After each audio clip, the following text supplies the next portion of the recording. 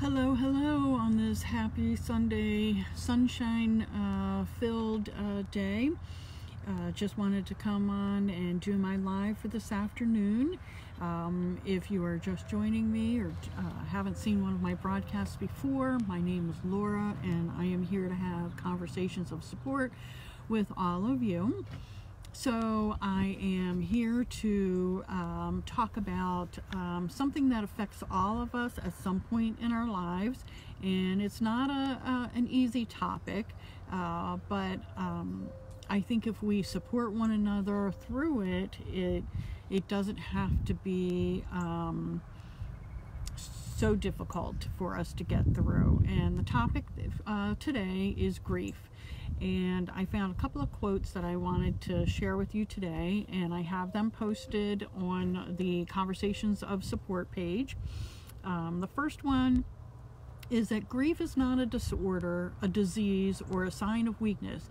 It is an emotional, physical, and spiritual necessity. The price you pay for love. The only cure for grief is to grieve. And that uh, was shared by Earl Grollman.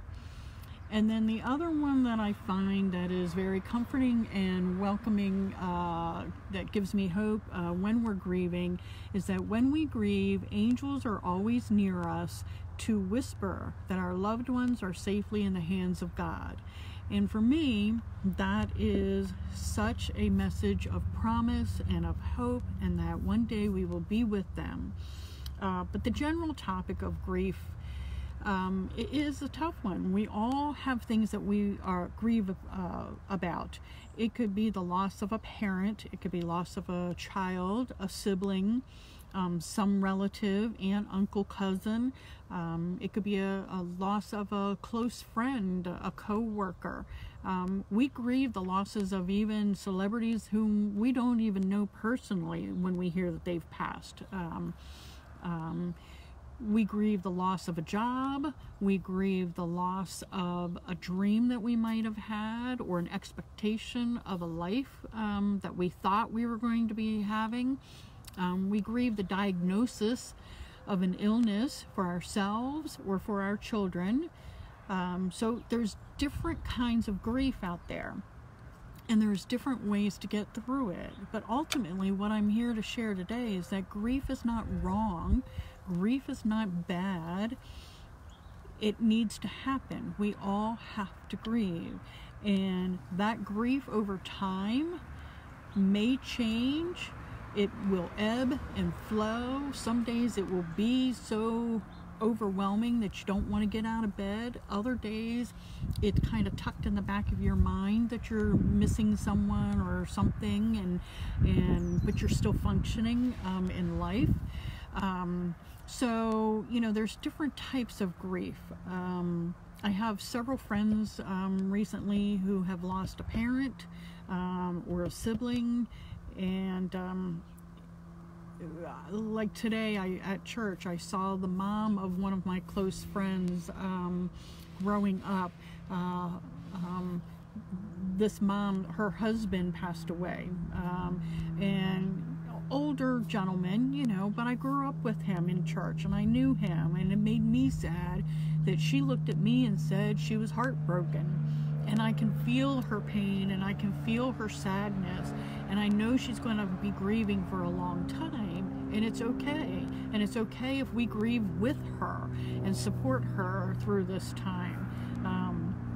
I have another close friend that just lost her father to an illness and her brother uh, unexpectedly uh, to uh, an illness. So, you know, sometimes we're overwhelmed with how fast and how often some of this stuff all happens to us at one time.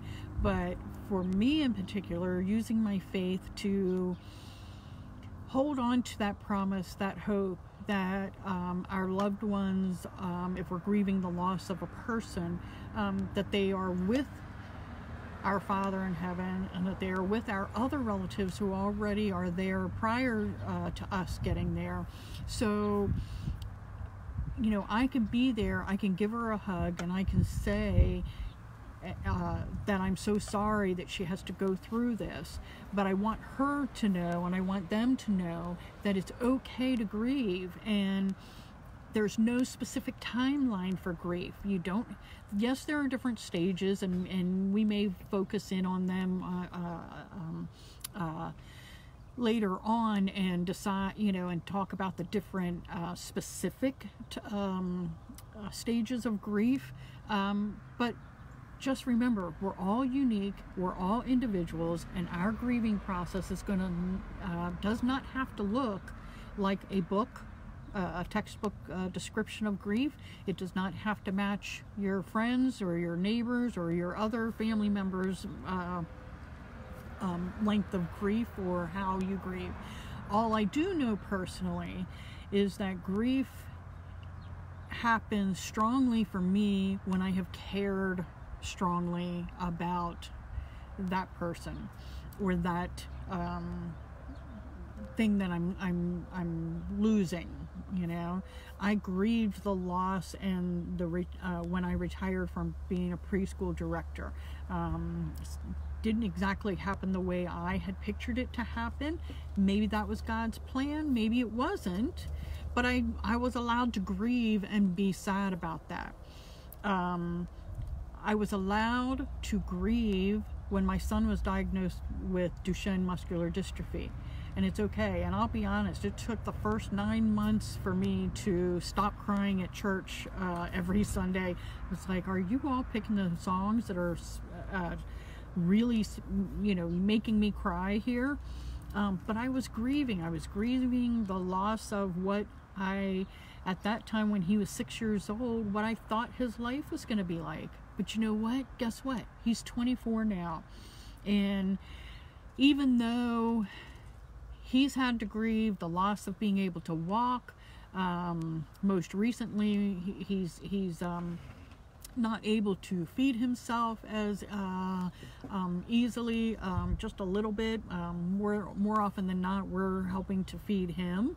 Um, and that's a big change. That's a grieving the loss of being able to do a simple task. Um, but we're allowed to feel upset and sad and mad about it. And then we have to keep moving.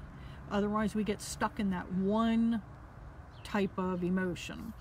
Um, grieving the loss of a child or your spouse or um, your sibling, I think, is a lot more difficult in the sense that sometimes the death was expected, sometimes it was not. Um, and we don't know when that grief is going to hit us, you know. Um, like I said, grief will ebb and flow throughout time. One day you may be perfectly fine and being able to smile out there, and people will think you're handling things okay. But deep down, you are, you may walk into a store and then all of a sudden realize you know, my loved one's not here. And um, it brings up all of those feelings again. Um, so just know that it happens, that it's okay when it happens, honor it, respect it. If we, as somebody who has maybe not lost a person um, or dealing with that kind of immediate grief right now ourselves, the way we can best support those others who are grieving is just to really be there, to listen, just let them talk. Don't be afraid to say their loved one's name. Don't be afraid to share a memory with them. It lets them know that their loved one is not forgotten, um, that they made an impact when they were here and they're going to make an impact when they're not here. Um, we, uh, we all want to feel connected, right? So don't be afraid to let your memories of someone hold you back from saying that that person's name to the one that's grieving the loss. Um, they will let you know if they're able to talk about that uh, person right then and there. And they may not be, and that's okay. The grief may be too much uh, at that moment. But when they look back, they will realize that you cared enough to talk about their friend. And Absolutely, Ashley. It is okay to not be okay, right? We all have those days. Um, you know, I, I, uh, um, I do a lot of encouraging, you know, when I'm, I'm talking to people, but I have my own days where I'm not so uh, happy and perky and handling things uh, the best way. Um, but that's okay. I'm, I give myself those days and then I try to make sure I fo focus and find something to, to keep me moving forward. Um, uh, what uh, other what else would you be able to do to help support somebody who maybe just immediately has recently lost a loved one um, and they're grieving? Um, uh, you could get a gift card for dinner for them somewhere and help them um, take one burden of finding a meal for their family um, as a way to show support. Um, now, you all know I do not cook my husband does the cooking, right? so, out of love for you all, if I need to share a gift card, you know, if I need to provide dinner for you and your family, um, you will be getting a gift card from me because we I want to keep you all healthy and I use humor in my life and so when even even when I'm grieving and and all of that I've got to find some humor in in the situation so um, but everybody is different. Everybody handles grief differently. It's okay. When our son was first diagnosed, that first nine uh, nine months was really tough for us. I know it was, I feel like it was specifically nine months for me. Um, for my husband, the first couple of months, I, when he got home from work, he was in bed. He was sleeping. It was like grief does allow us to build a little bit of a protective wall around ourselves so that we can heal our hearts a little bit so that we can uh, keep moving forward. Um, and and it's okay. Uh, you know we've obviously gotten through that stage of grieving the diagnosis with him and we started living life and we started you know, enjoying and doing the best we can with our son, with what he can do. And every time things have changed, we just have to learn to adjust, you know. But there are times where he, my husband will still get sad that, you know, our son has to, to live life like this and go through this. But we know that God is providing for us and we know that God is watching over our son um, no matter what and he watches over our daughters just the same. Um, so it's not just about our sick kids, uh, you know. Um, we're protecting our healthy kids as well too. So I um, I encourage you if you are grieving something to honor it, respect it, um, don't hide from it. Um, and don't be afraid to let people know that you just can't talk right now. You know, it's okay. Um, and if you just need somebody to sit with you, just be another body in the room and not say anything, that's the way we can help. You know, we can help each other by just giving a hug, not saying a word, and letting them, you know, cry, vent, talk, whatever it is. That is showing support that is having conversations of support with one another. Um, so um, I'm still trying to figure out, I haven't quite figured out what my series will be for Monday, Tuesday, Wednesday, and Thursday of this coming week with our lives. Um, but I will post that on the conversations page and let everyone know what my series will be. Um, I feel like this is a uh, an opportunity for um, a little bit of a ministry for me to be able to help share how I've gotten through some tough times in life. Um, how, you know, um, as I've stated before, you know, we deal with anxiety, stress, um, grief, um, happiness, um, every kind of emotion that we can think of, right, differently. Um, so what works for me may not necessarily work for you, um, but if we share the information with each other, then I think that's showing support too, right? So um, share with me what you would like if there's a series of topics. Um, I think I will cover on one of the days um, finding joy. um, because we can find joy in the midst of sadness um, and disappointment and unexpected life changes, um, it is okay to find joy. So we'll talk about that, I think, on one day. Um, I'm uh, still trying to uh, plan the other three days yet. Uh, so I will definitely post that. If you're watching the replay, put down in the comments where you're watching from and uh, if you have any suggestions on the topics that you would like to talk about um, also. And then um, those of you who are joining me live, I really appreciate it. And um, uh, I hope that this is some, is helpful to you. Um, if it is, uh, don't be afraid to share the, the videos out uh, to your others or share the page out to those of you that you feel might benefit from it.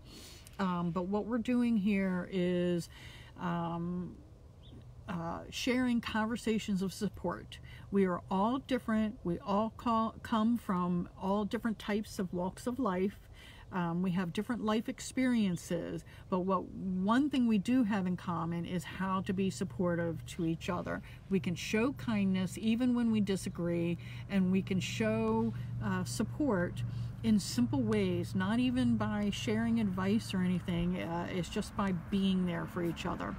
So let me know um, what you would like to talk about um, this coming week. Uh, I would like to have a kind of a common theme so I think maybe it'll be a finding something. So we're gonna find joy on one of those days and maybe we'll talk about finding resources um, another day.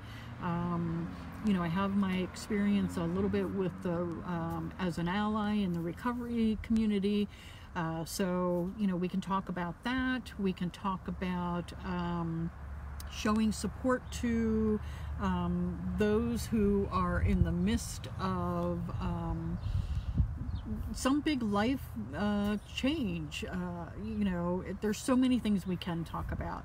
Um, again, today's topic was talking about grief and knowing that it's okay to grieve and that it's never going to fully end because we never stop fully caring and loving about that person or that uh, situation that we cared about and had a passion for, um, but it will ebb and flow. Some days we will be able to handle it calmly and nobody would ever know that you're still sad that, that we're missing someone. Um, other days it will be that day where we just say, you know, I can't talk, but I appreciate you letting me know that you remember my loved one. And I think that is uh, the biggest thing that I want to share that um, those of you who do have a faith, draw upon that. If you don't have a faith, call it what you will. But whatever it is, it gives you the strength to keep moving forward, um, to honor the ones that we're, we're sad that we that are no longer here on earth with us.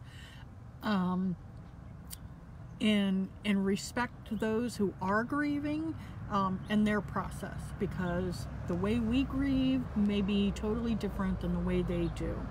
Um, so I appreciate each and every one of you. Feel free to chat with me and talk with me when, when I'm doing these um, so that I, I uh, uh, can get a feel for what you would like to talk about.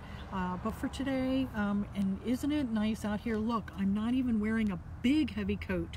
I only have my sweater on today.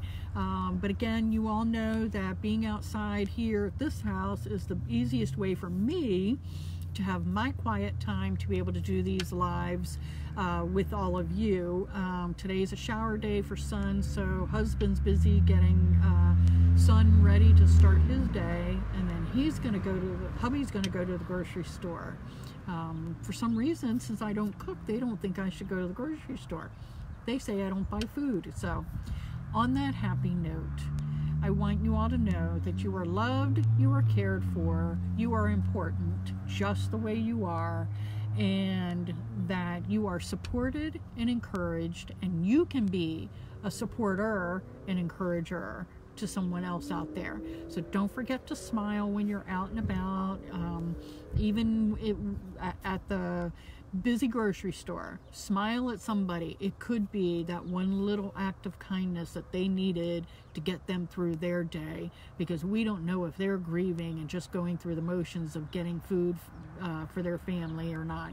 So, um, thank you very much, and I will see you all tomorrow most likely in the afternoon. So I appreciate you, and we will talk about finding joy tomorrow. Okay? Have a wonderful rest of your Sunday. Um, be blessed, be happy, um, and even if you're sad, be okay with that. Okay, so I will see you tomorrow. Have a wonderful day. Thank you so much for joining me on this Conversations of Support. Till tomorrow, blessings.